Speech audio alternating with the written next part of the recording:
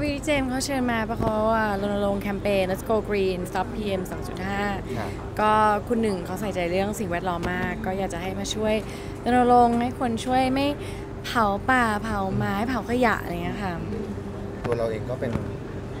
อีกคนหนึ่งที่ใส่ใจกับเรื่องใส่ใจค่ะก็เป็นห่วงเอ่อสุขภาพคนไทยประชาชนคนไทยว่าครอบครัวปูก็อยู่ที่นี่นะคะ ก็อยากให้เขาแบบ มีอากาศที่ดีจะได้ออกไปออกกำลังกายข้างนอกได้ แต่ช่วงที่ออกกำลังกายไม่ได้ข้างนอกทำอะไรไม่ได้ข้างนอกก็อยากให้ใส่แมสค่ะ แต่ตอนนี้สถานการณ์ค่อนข้างแย่เลยโควิด -19 เป็นเรื่องที่น่าเป็นห่วงค่ะ เมื่อวานเอ่อ World Health Organization ก็ประกาศว่าเป็น pandemic แล้ว ค่ะ ก็ถือเป็นเรื่องใหญ่นี่ก็น่าจะเป็นอีเวนต์สุดท้ายที่ปูรับ เพราะอีเวนต์นี้เป็นอีเวนต์ภายในแต่ถ้าเป็นอีเวนต์ public ก็ไม่ไม่น่าไม่อยากรับเป็นชั่วคราว อันนี้คือมาตรการของเอเจนซี่เราเป็นยังไงบ้าง ไม่เป็นความรู้สึกส่วนตัว เพราะเราก็ต้องให้เกียรติคนอื่น ที่ประชาชนคนอื่นเราก็ไม่อยากทำพี่ๆนักข่าวเดี๋ยวสถานการณ์ที่น่าเป็นห่วงด้วยก็อันนี้โชคดีคุณหนึ่งบอกว่าจัดในตึก Beauty Gem แล้วเขาก็ตรวจอุณหภูมิก่อนเข้า แล้วไม่มีแขกภายนอกเข้านอกจากแขกภายในที่เขาชวนมาเป็น limited number ก็โอเคค่ะส่วนตัวปุ้ยต้องระมัดระวังตัวเองขนาดไหนในการที่จะเอ่อปีนี้ถ้าเดินทางกลับสหรัฐก็คืออยู่ยาวอืมก็คืออยู่หลายเดือนเลยช่วงแต่ว่าเอ่อที่อื่น ไม่ไปค่ะแฟชั่นวีคไม่ไปก็อย่างที่เห็นต้องต้นต้นปีไม่ได้ไปเลยเอิ่มพรมแดงต่างประเทศก็ก็ไม่เดินค่ะเพราะรู้สึกว่าสถานการณ์โลกช่วงนี้ไม่ไม่ไม่ไม่เรื่องพวกนี้มันไม่ไม่สำคัญเท่าสุขภาพของคนมากกว่าอย่างอีเวนต์ก็ยกเลิกไปเราได้รับผลกระทบไหมคะเป็นคนไม่ค่อยรับอีเวนต์อยู่แล้ว ถ้าพี่เห็นเออนานๆทีมารับล่าสุดคืองาน UN ที่แถลงข่าวครั้งที่แล้วค่ะก่อนหน้านั้น 4 เดือนก็ ไม่ได้รับเลย อันนี้ก็พอดีว่าคุณหนึ่งชวนมาบอกเป็นงานภายใน อาจจะพบเจอสื่อนิดหน่อย แต่ปุ๊กก็โอเค ไม่ได้เจอพวกพี่นานก็ยินดี แต่นอกเหนือจากนั้นไม่รับอีเวนต์ค่ะอย่างงานนี้เจอก็คืออย่างที่บอกคือเอาสุขภาพเอาไว้ก่อนเพราะจริง ๆ ก็ปูก็เอิ่มไม่เสียดายค่ะ ปูเพลาเรื่อง fashion week มาสักแล้วไปมาหลายปีแล้วค่ะ แล้วก็ตอนนี้ถ้ากลับก็คือ ถ้ากลับจริงๆ ก็กลับสหรัฐแล้วกลับยาว คือไม่กลับสั้นแต่ถ้าถ้ากลับนะคะ แต่ถ้าไม่กลับก็อยู่นี่ยาว ตกใจไหมพอที่ใดที่หนึ่ง พอมันเกิดเรื่องที่มิลานคือมีคนติดเชื้อจากมิลานที่เราเคยไปด้วย เออแอบแอบตกใจไหมไม่ไม่ไม่ตกใจไม่แปลกใจ เพราะแฟชั่นวีคเป็นที่ที่คนรวมตัวกันเยอะอืมแล้วมันเป็นช่วงแรกๆ ที่ข่าวโควิดออกด้วยก็ไม่แปลกใจแต่ก็ไม่อยากให้คนคือมันเป็นเรื่องที่น่าตื่นตระหนกก็ต้องระวัง แต่ก็ไม่อยากให้คนแพนิคจนจนอ่าไม่รับฟังข่าวที่จากข้อมูล ที่ถูกต้องอะไรเงี้ยค่ะสารแหล่งข้อมูลสำคัญมาก เราต้องฟังจาก World Health Organization จาก CDC คนที่รู้จริงค่ะๆเกี่ยวกับเรื่องพวกนี้ แต่ถ้าเราฟังซีซัวมันจะทำให้เกิดแพนิคครับเกิดผลกระทบต่อเอ่อธุรกิจต่อคนทั่วไปอะไรเงี้ยไม่อยากให้มีผลกระทบแบบนั้นอืมอย่างเราทำงานกับอยู่ใน SCR เราเป็นห่วงไหมว่าสถานการณ์โรคมันจะลุกลามไปยังเด็กพวกนั้นที่แบบว่าเออระบบสาธารณสุขขาเป็นต่ำอยู่ห่วงแล้สิอคะเป็นห่วงเป็นห่วงมาก เรื่องนี้เป็นเรื่องน่าเป็นห่วงแล้วปูว่า แต่ก็อย่างที่บอกไม่อยากให้คนแพนิคไม่อยากให้คนเหยียดคนอื่น ไม่อยากให้คนเหยียดเชื้อชาติอื่นมันเป็นเรื่องที่ปูทำงานยูเนสเซียและปูเชื่ออย่างใจจริงว่า ถ้าเราควรจะสามัคคีกันก็คือในยุคนี้แหละเราควรจะดูแลแล้วให้เกียรติซึ่งกันและกันรวมถึงเอ่อเป็นห่วงประเทศเพื่อนบ้านและประเทศของตัวเองด้วย เพราะทุกคนก็คือมนุษย์ เราควรจะปกป้องตัวเองเพื่อที่จะไม่ติดคนอื่นอะไรเงี้ยจริงๆมีแผนจะต้องไปเดินเดินทางไปช่วยที่ของผู้ลี้ภัย ช่วงนี้ไม่พรุ่งพรุ่งช่วงนี้งดไปค่ายผู้ลี้ภัยครับจนถึงเกือบปลายปีค่ะ มีโอกาสได้ถามทางเจ้าหน้าที่ทางนี้อื่นบ้างไหมครับว่าเขามีมาตรการอะไรในการดูแลค่ายตอนนี้เรายังไม่มีผู้ลี้ภัยที่ติดเชื้อโควิดค่ะณเวลานี้แต่เราก็แต่เราก็พูดกันว่าปีนี้ไม่ไม่ลงพื้นที่เยี่ยมค่ายจนกว่าปลายปี เพราะรู้สึกว่าสถานการณ์ที่ปูในฐานะคนไทยหรือประชาชนควรจะร่วมช่วยก่อนคือโควิด และสถานการณ์ในประเทศชาติค่ะ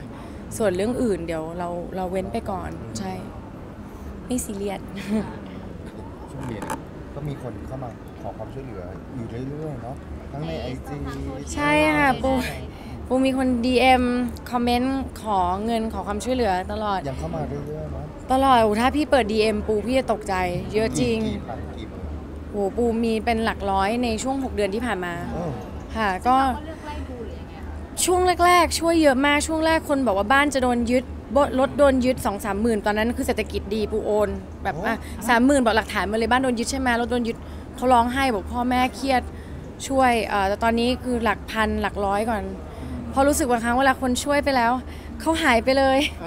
เขาขอบคุณแล้วก็หายไปเลย ไม่ไม่ได้กลับมาแบบ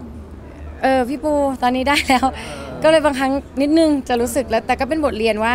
การทำทานต้องทำอย่างมีสติอืมคือบางครั้งถ้าทำแบบไม่มีสติ มันเหมือนสร้างบาปมากกว่าอืมแต่ตอนนี้ถ้าเล็กๆน้อยๆเหมือนแบบคนล่าสุดบอกว่าเขาเขาลำบากจริงแบบช่วยอุดหนุนสิ่งที่เขาขายได้ไหม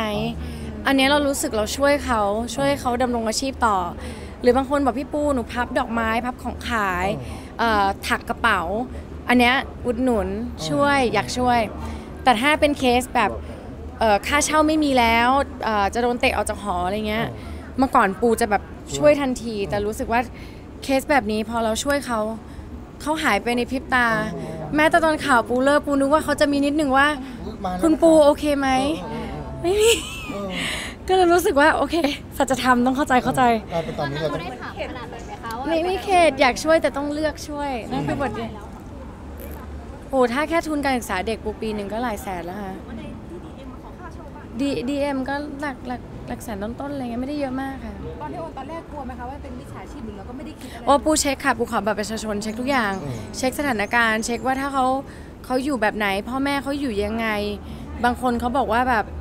แม่เขาไม่มีที่อยู่ไม่อยู่ข้างทางแล้ว บ้านโดนยึดอย่างเงี้ยพอเราเห็นเราก็นอนไม่หลับค่ะคนไทยเหมือนกันอะไรเงี้ยแต่ว่า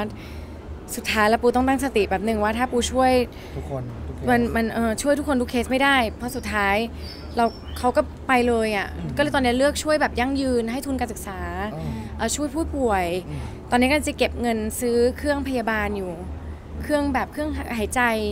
โดยเฉพาะด้วยโรคโควิด อาจจะต้องใช้เครื่อง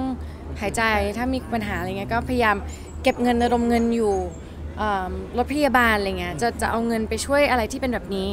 มากกว่า แล้วก็ให้กับโรงพยาบาลโดยเฉพาะที่ไม่ได้เกี่ยวกับ หน่วยงานรัฐหรืออะไรเงี้ยแค่โรงพยาบาลต่างจังหวัดอะไรเงี้ยค่ะอันนี้เจาะจงหรือยังว่าจะเป็นที่ไหนอะไรยังไงยังค่ะเก็บเงินซื้อเครื่องก่อนค่ะ แต่ถ้าจริงมันๆราคาสูงแค่ไหน สูงค่ะเครื่องเครื่องรักษาหายใจแทนแพงมากค่ะ ก็เนี่ยไปตามไปตามงานค่ะ ก็เก็บตังค์คนร่วมงานด้วยใครมีก็เออเออช่วยกันช่วยกันทำบุญทำบุญป้องกันภัยด้วยคือในแต่ละปีปูก็จะจัดสรรเงินตรงนี้ไว้สำหรับช่วยทำบุญอยู่แล้ว ปูเชื่อแม่พี่ ได้มาง่ายก็ไปง่ายได้มาแล้วก็แบ่งปันซะค่ะจริง ๆ แล้วอย่างที่บอกปีที่ผ่านมาพี่สัมภาษณ์ปูครั้งที่แล้ว ครั้งนี้ปูยิ้มออกเออแต่ครั้งนั้นกลับไปคือใจจะขาดออกจากงานนั้นเป็นสามอาทิตย์ที่จุกจุกยอมรับเลยว่าแบบไม่อยากลุกจากเตียงไม่อยากไปไหน แล้วก็คิดแล้วว่าโอเค ถ้าในเมื่อเราเกิดมาเรามีโอกาสเยอะแล้ว เรามีงานเยอะแล้ว แล้วมันก็ไม่มันไม่มั่นคงอะ อาชีพนี้ไม่มั่นคงวงการบันเทิงก็ช่วงที่มีก็แบ่งๆไปเถอะ ตายไปก็เอาไปไม่ได้อยู่ดีอืมเดี๋ยวนะ จริง thank you